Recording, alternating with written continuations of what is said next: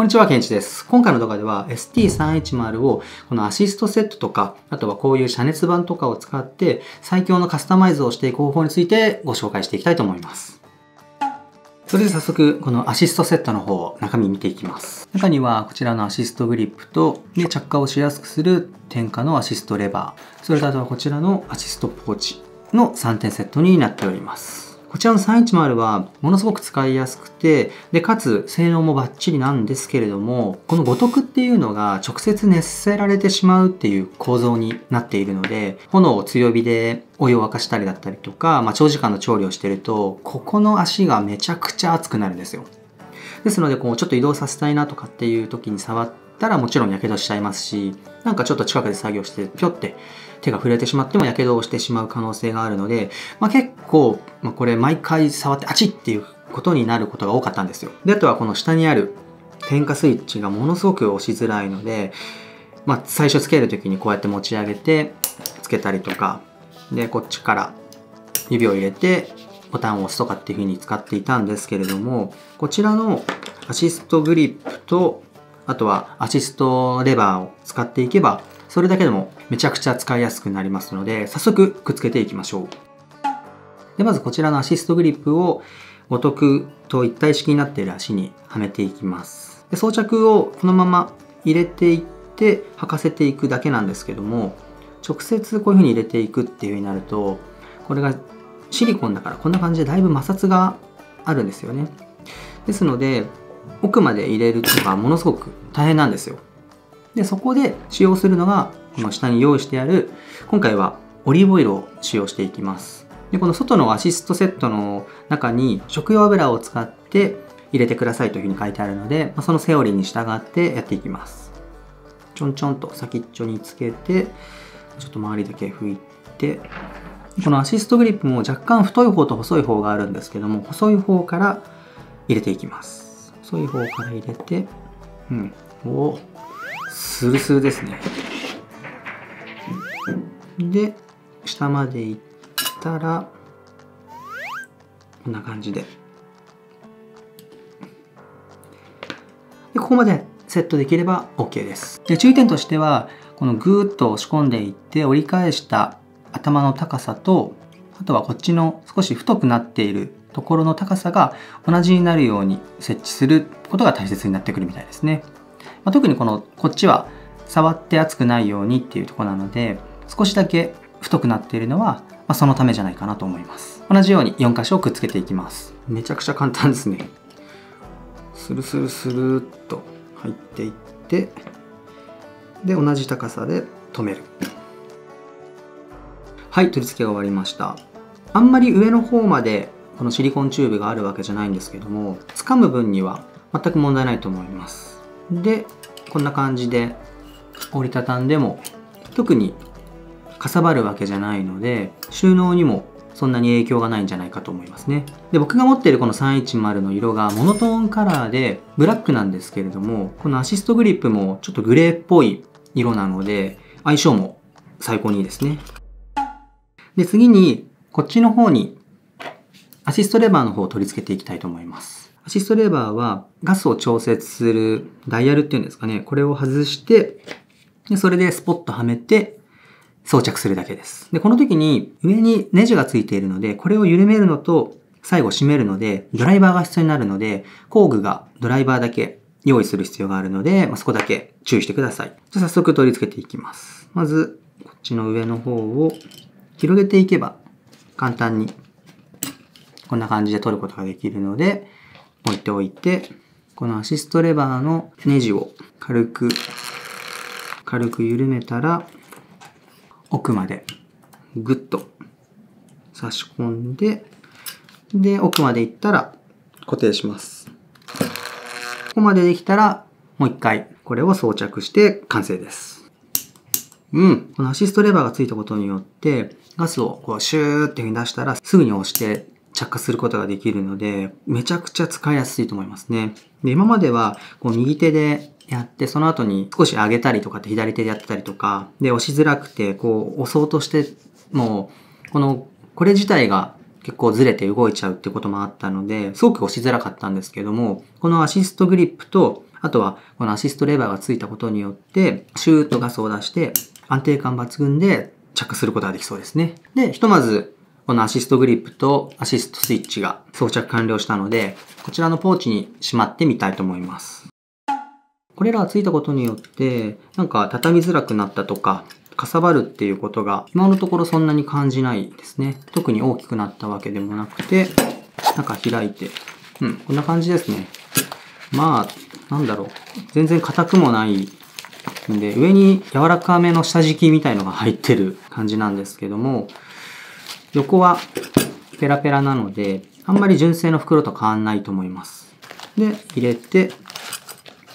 まあ、サイズ感はバッチリですね。うん。こんな感じで収まりました。このアシストポーチ見た目がかっこよくてデザイン性もいいし、持ち運びもまあそれなりに良さそうなんですけれども、丸になっちゃってるから、これしか入んないんですよね。他の隙間に、ま、ちょっとしたものを詰め込むっていうことはできそうなんですけれども、例えば僕遮熱板を一緒に使ってるんですけども、大きさが全然合わないので、微妙です。ですので、こっちの今まで使ってた純正の袋の方を使うことになりそうですね。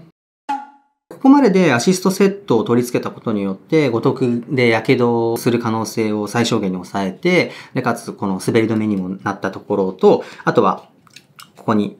アシストレバーがついたことによって、まあ、火もつけやすくなったんじゃないかというところなんですけども、さらに使いやすくするために、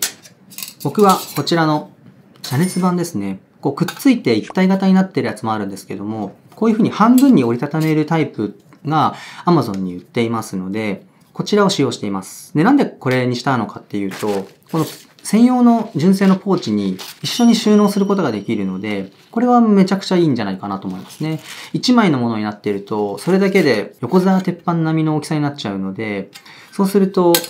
この専用ケースとかに入らないから、また別のものに入れるってなると、ま、それぞれが別の場所に収納されるってことになっちゃうんじゃないかと思いますね。ま、それを防ぐためにこちらを使っています。でこの遮熱板があればこんな感じで取り付けることによって、こんな感じで横沢鉄板を乗っけて、まあ、焼肉を焼いたりしても、直接的にこういう風に CB 缶カセットボンベを設置してても、輻射熱が直接伝わりづらくなるので、安全に使えるようになると思います。その他だと、あとはスキレットとかですね、同じように鉄の製品で、ものすごく熱くなるものだったりとか、あとは大きいお鍋を乗せるときとかがあると思うんですけども、そういったときに ST310 が推奨しているものの以上の大きさの鍋とかを使うと、どうしても下の面積が広くなって、輻射熱が直接この CB 管に伝わる可能性が出てきてしまいますので、まあ、そういったことも注意するってことが大切になると思います。でこの遮熱板に関しては純正でも、ここですね、こちらの方についているので、普通にお湯を沸かすとか、えー、ラーメンを作るとか、まあ、ちょっとしたものを料理するっていうだけであれば、特にこれがなくても問題ないんですけども、鉄製品だったりとか、結構上に熱くなるもの、鍋の直径が大きいものとかを使用するってなると、どうしてもこの輻射熱のことを気にしないと思わぬ事故につながってしまうと思いますので、でまあ、そういった料理をこのバーナーを使ってやるっていう方は、こちら Amazon で1980円の税込みで販売して、まあ、少し高いんですけども、まあ、事故をすることとかっていうことを考えると、これを持っていてもいいんじゃないかと思います。まあ、特に、まそういった料理しないよっていう方であれば、これがなくても、この純正の遮熱板があるだけで、普通の料理とか、キャンプで使うっていうことに関しては全く問題ないと思いますので、そのね、自分のキャンプのスタイルに合ったように選ぶことが大切になると思います。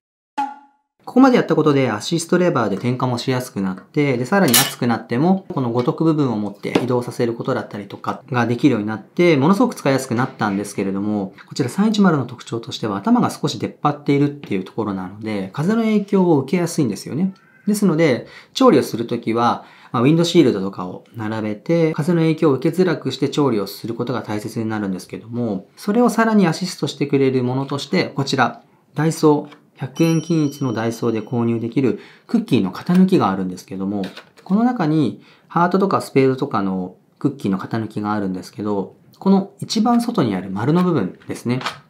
この丸の部分を使うことによって、こちら、この出っ張ってる部分にちょうどシンデレラフィットするっていうのが310を使っている方たちの中ではもう常識になってるみたいなので、こちら取り付けていきたいと思います。で取り付けって言っても特に難しいことをするわけじゃなくて、こんな感じでちょっと開いて、でそれではめるだけですね。これでまさかのシンデレラフィットです。これをつけるだけで風の影響を受けづらくなるので、アウトドアだと、まあ、少なくとも風が少し吹いてるっていうところなので、室内に比べて調理の難易度が少し上がるんですよ。まあ、そういった時にこういったものがあるだけでも全然料理のできるスピードとかが変わってくるので、これは必ずセットした方がいいと思います。実際にこちらの、まあ、クッキーの型抜きの風防を使った扇風機の弱中強を使った実験がありますので、ご覧いただければと思います。で、隣に今扇風機があるんですけども、70センチぐらい離して弱から強まで風を当てていって、こちらのクッキーの型がある時とない時と比べていきます。で、まず点火ですね。この点火は開いていって、おおこれは干しやすい。他のカスタムをしないんだとしても、これだけは買った方がいいと思います。最後、風を比べていきます。でまず弱から。風を受けてるんですけどもそこまで炎が乱れるっていうことはなさそうですね。次中。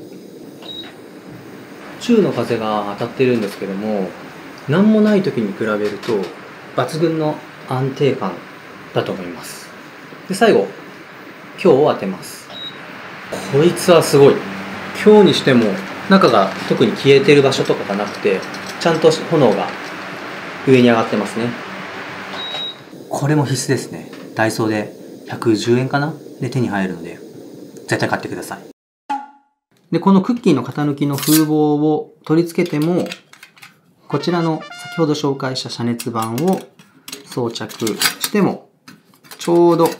ここを上手にかわして同じように使うことができますのでまあこれ純正品じゃないかと思うぐらいのシンデレラフィットでございます。こちら全部買うっていう風になると、それだけでもそこそこの金額がしちゃうんですよね。で、こういったアシストグリップとかっていうだけであれば、こういったシリコンチューブだったりとか、ダイソーのクッキーの型とかを使うことによって、カスタマイズの費用とかも最小限に抑えて、かつ自分の好みにカスタマイズすることができますので、ぜひチャレンジしてみていただければと思います。それでは最後までご視聴いただきまして、ありがとうございました。